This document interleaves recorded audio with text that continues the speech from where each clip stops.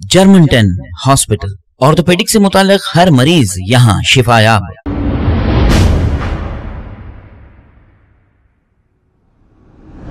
वालेकुम नाजरीन, मैं हूँ मोहम्मद अब्दुल हकीम। आइए देखते हैं आज का ये खबरनामा। नाजरीन, पाँच रियासतों के इलेक्शंस हो चुके हैं। उत्तर प्रदेश, मणिपुर, गोवा, पंजाब और उत्तराखंड। इन पाँच रियासतों में पोलिंग मुकम्मिल हो चुकी है और काउंटिंग भी हो चुकी है और रिजल्ट्स भी आ गए हैं। चार रियासतों में बीजेपी इख्तदार पर आ गई है। आप ये अच्छी तरह जानते हैं, यूपी, मणिपुर, गोवा और उत्तराखंड में भी बीजेपी आ चुकी है। पंजाब में आम आदमी पार्टी ने शानदार कामयाबी दर्ज कराई है। अब यूपी के इलेक्शंस में A I M I M party के सदर जनाब असदुद्दीन अवैसी साहब जलसों से मुखातिब हो रहे थे। हज़ारों की पब्लिक इन जलसों में आ रही थी और असद साहब यहाँ पर 100 सीटों पर इलेक्शन लड़ रहे थे। लोग तो ये कह रहे थे कि कोई ये कहता है कि 20 जीत जाएँगे 15 जीत जाएँगे 5 जीत जाएँगे, लेकिन ऐसा कुछ नहीं हुआ। वहाँ के लोग, हैदराबाद के जो लोग हैं, जज्बाती बातों में आकर वोट देते हैं, ऐसा नहीं। आवाम को डेवलपमेंट चाहिए। हालाँकि बीजेपी की जानिब से भी कोई डेवलपमेंट नहीं हुआ, नफरत बांटी गई।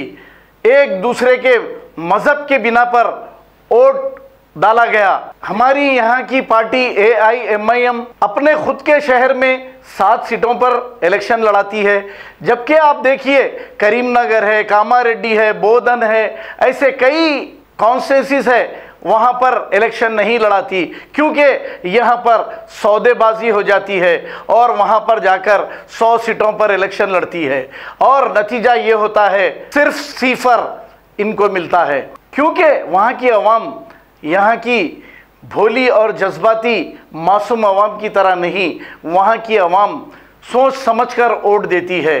तो आपको भी चाहिए और जनाब असदुद्दीन अवैसी साहब को भी चाहिए कि बजाय नफरत बांटने के डेवलपमेंट की बात करें, इलेक्शन आजकल हिंदू मुस्लिम के नाम पर इलेक्शन हो रहा है। कोई डेवलपमेंट की बात ही नहीं करता है, कोई मंदिर की बात करता है तो कोई मस्जिद की बात करता है।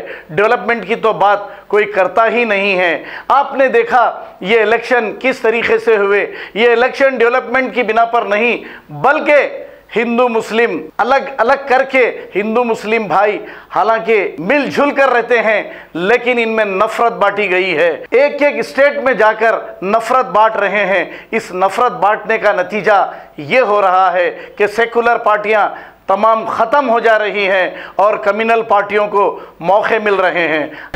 अखिलेश यादव और समाजवादी पार्टी वालों, जो तुमने नहीं सुना जो तुमने अपने कानों में उंगलियाँ लगा ली, वो ओवैसी सुन लिया और ओवैसी पुकार रहा है, पुकार रहा है कि जब तक दुनिया बाकी रहेगी, हम टोपी पहनेंगे, हिजाब पहनेंगे, नकाब पहनेंगे, दाढ़ी छोड़ेंगे, कोई भाई का लाल हमको नहीं रोक सकता इंशाल्लाह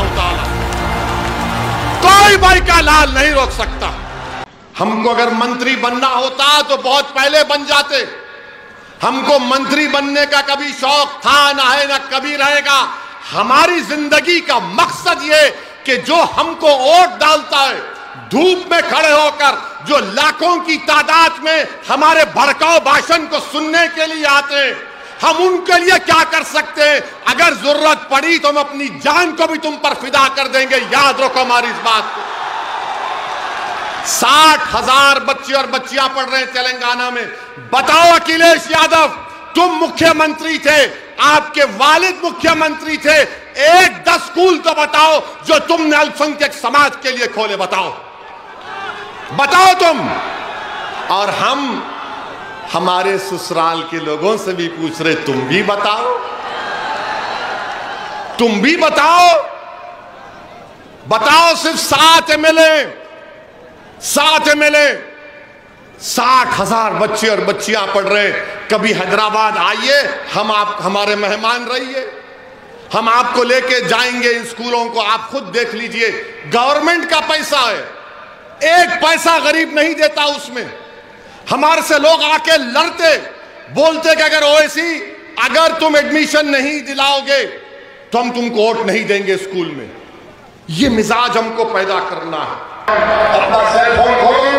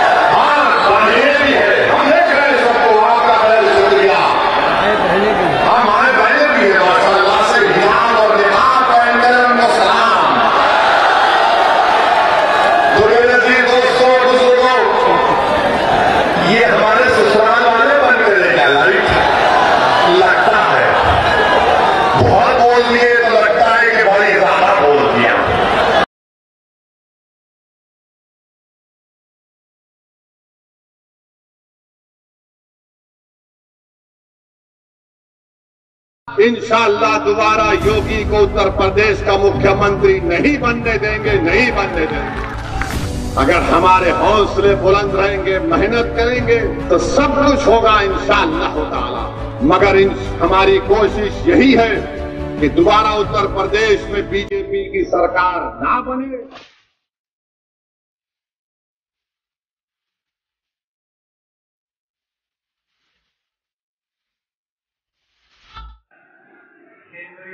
मंत्री professor S P Singh Baghel ji जिला पंचायत अध्यक्ष अनुरुद्ध त्रिपाठी जी। विधानसभा के प्रभारी श्री राजेश द्विवेदी जी।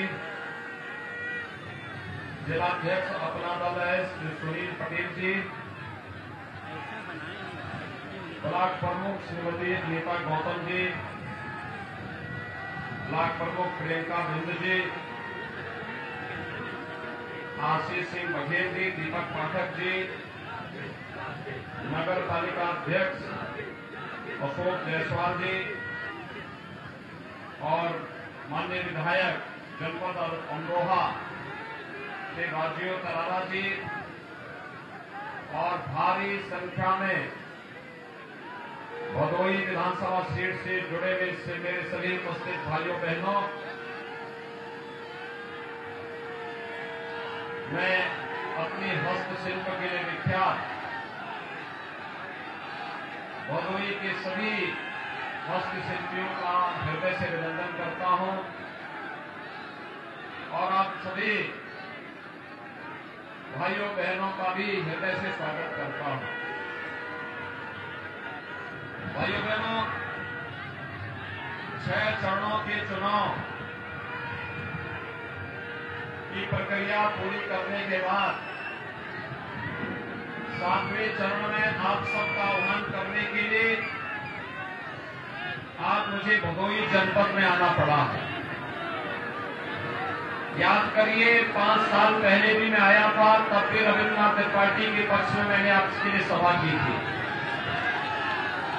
और मैंने तब आपसे कहा था कि भारतीय जनता पार्टी आपको आपकी पहचान दिलाएगी। भयमुक्त दंगा मुक्त प्रदेश देकर विकास की प्रक्रिया को आगे बढ़ाते हुए गरीब कल्याणकारी योजनाओं को मजबूती के साथ आगे बढ़ाने का कार्य भारतीय जनता पार्टी की सरकार करेगी। और आज मैं आपसे कह सकता हूँ, भाइयों बहनों भदोई के साथ मेरे सही भाइयों बहनों, मुझे बताइए, क्या 2017 के पहले आपका, आपको बिजली मिलती थी? आज मिल रही है कि नहीं मिल रही है? बिजली देने में कोई भेदभाव तो नहीं होता है? कोरोना कालखंड में फ्री टेस्ट, फ्री उपचार फ्री में वैक्सीन और सबको वैक्सीन ये प्रधानमंत्री मोदी जी के मार्गदर्शन में हुआ। आप मुझे बताइए कि वैक्सीन का पैसा तो नहीं लिया किसी ने? कितने लोगों ने वैक्सीन लगाया है? वैक्सीन का पैसा तो नहीं लगा है। याद करना, अगर सपा बसपा की सरकार होती, इस वैक्सीन को भी लोग मार्केट में ब्लैक कर देते। आप मुझे एक बात बताओ कोरोना कालखंड में गरीबों को महीने में दो बार राशन मिला है कि नहीं मिला है। दाल, तेल और नमक। क्या 2017 के पहले भी मिलता था क्या? 2017 के पहले भाइयों बहनों, यही गरीब का राशन सपा के गुर्गे या बहन जी का हाथी खा जाता था और गरीब को कुछ नहीं मिलता था। आज तो गरीब को मकान भी मिल रहा है। आज तो गरीब को शौचालय भी मिल रहा है। आज गरीब को विद्युत का कनेक्शन भी मिल रहा है। रसोई गैस का सिलेंडर भी मिल रहा है। और हमने तय किया है 10 मार्च के बाद जब सरकार बनेगी तो भाइयों बहनों अगले पाँच साल के अंदर हर दीपावली और होली पर उज्ज्वला योजना के लाभार्थियों को एक एक रसोई गैस का सिलेंडर भी फ्री में उपलब्ध करवाएँगे। बेटी की शादी के लिए कन्यादान की राशि को अब इक्यावन हज़ार से बढ़ाकर के एक लाख करेंगे। पिछले पाँच साल पाँच लाख नौजवानों को सरकारी नौकरी और दो करोड़ से अधिक नौजवानों को रोज़गार और स्वतः रोज़गार के साथ जोड़ा गया। अगले पाँच साल के लिए हर परिवार के एक सदस्य को नौकरी, रोज़गार और स्वतः रोज़गार के साथ जोड़ने के बड़े लक्ष्य के साथ हम कार्य कर रहे हैं। टैबलेट और स्मार्टफ़ोन वर्तमान में प्रदेश के नौजवानों को वितरित हो रहे हैं। समाजवादी पार्टी ने कंप्लेंट की है। हमने तय किया है 10 मार्च के सरकार बनेगी तो अगले पाँच साल के अंदर दो करोड़ नौजवान को टैबलेट, स्मार्टफ़ोन फ्री में उपलब्ध करवाने का काम करेंगे। भाइयों बहनों, सपा के लोग परेशान हैं ये पैसा कहाँ से आ रहा है। मैंने कहा, देखो, तुम्हारी संवेदना तो गरीब के लिए नहीं, नौजवान के लिए नहीं थी, बुज़ुर्गों के लिए नहीं थी, महिलाओं के लिए नहीं थी। पेशेवर माफिया, अपराधी और दंगाइयों के प्रति थी, आतंकवादियों के प्रति थी, इसलिए विकास नहीं करा पाए। समाजवादी पार्टी का एक नेता मुझसे बहस कर दिया, कहा कि हमने विकास कराया मैंने कहा, कोई एक विकास को बताओ। तो भाई बहनों उन्होंने क्या बताया? मालूम है? उन्होंने गिनाया। उन्होंने मुझे बताया कि समाजवादी पार्टी ने अपने कार्यकाल के दौरान हर गाँव में कब्रिस्तान की बाउंड्री वाल बनाई है। और भारतीय जनता पार्टी की बात जब आती है तो भाइयों बहनों, अयोध्या में भगवान राम के भव्य मंदिर के निर्माण का कार्य भारतीय जनता पार्टी की बाबा विश्वनाथ के भव्य धाम का निर्माण प्रधानमंत्री जी के कर कमलों से उद्घाटन हो चुका है। मथुरा सज रही है, समर रही है। माँ विंध्यवासिनी का धाम एक बार फिर से चमक रहा है। भव्य कुंभ, दिव्य कुंभ उत्तर प्रदेश की पहचान बन रही है। और उत्तर प्रदेश के अंदर highway, railway inter state connectivity, expressway, airport expo mart ये सभी एक नई पहचान के साथ आज उत्तर प्रदेश को एक नई पहचान दिला रहे हैं। भाइयों बहनों, विकास की योजना में कोई भेदभाव नहीं हुआ। सुरक्षा सबको, सम्मान सबको, लेकिन प्रदेश को दंगा मुक्त और भय मुक्त करने के साथ ही विकास की प्रक्रिया को आगे बढ़ाने का जो कार्य भारतीय जनता पार्टी की डबल इंजन सरकार ने किया है आज उसका उसका परिणाम है, उत्तर प्रदेश की छवि बदली है। मैं जब आपके यहाँ पे आ रहा था मैं देख रहा था कि विकास और भय मुक्त वातावरण का प्रतीक उत्तर प्रदेश शासन का बुलडोजर भी यहाँ पीछे खड़ा है। और भाइयों बहनों, विकास और बुलडोजर दोनों साथ साथ चले। क्या चलने चाहिए ना? विकास और बुलडोजर साथ साथ चलने चाहिए कि नहीं चलने चाहिए? इसके लिए भारतीय जनता पार्टी के अधिक से अधिक सीट आनी चाहिए। देखिए, रविंद्रनाथ त्रिपाठी जी ने जो कहा, हमने औराई के लिए भदोई के लिए, ज्ञानपुर के विकास के लिए उतना कार्य करवाया है और जो बचेगा उसको फिर अगले कार्यकाल के दौरान सरकार कराएगी। लेकिन मैं आपसे कहना चाहता हूँ, एक दमदार सरकार के लिए ज़्यादा विधायकों की आवश्यकता पड़ती है। आप दमदार सरकार चाहते कि नहीं चाहते हैं? चाहते हैं। रविंद्रनाथ त्रिपाठी को भारी बहुमत से विजयी बना के भेजेंगे। गाँव गाँव घर घर जाएँगे। एक एक मतदाता तक हमारे संदेश को पहुंचाएँगे। ना कि भय मुक्त वातावरण के लिए दंगा मुक्त वातावरण के लिए, विकास के कार्यक्रमों को आगे बढ़ाने के लिए और नौजवानों के रोज़गार के लिए, अन्नदाता किसानों की खुशहाली के लिए, बेटियों की सुरक्षा के लिए, गरीबों के कल्याण के लिए भारतीय जनता पार्टी की डबल इंजन सरकार बननी आवश्यक है। इसको बताएँगे? सात मार्च को सुबह सात बजे से मतदान होना है। सभी को मालूम है ना? आज सायकाल प्रचार बंद हो जाएगा। ये भी जानते हैं ना? तो आप लोग अगले 24 घंटे घर घर जाकर के रविंद्रनाथ त्रिपाठी बनकर के कमल के चुनाव चिन्ह पर वोट मांगेंगे। भाइयों बहनों रविन्द्रनाथ त्रिपाठी को भारी बहुमत से विजयी बनाएँगे। शर्त एक चुनाव के दिन पहले मतदान, फिर जलपान पहले मतदान। सभी लोग करेंगे। दोनों हाथ काट के मेरे साथ बोलो फिर। दोनों हाथ ला करके भारत माता की भारत माता की भारत माता की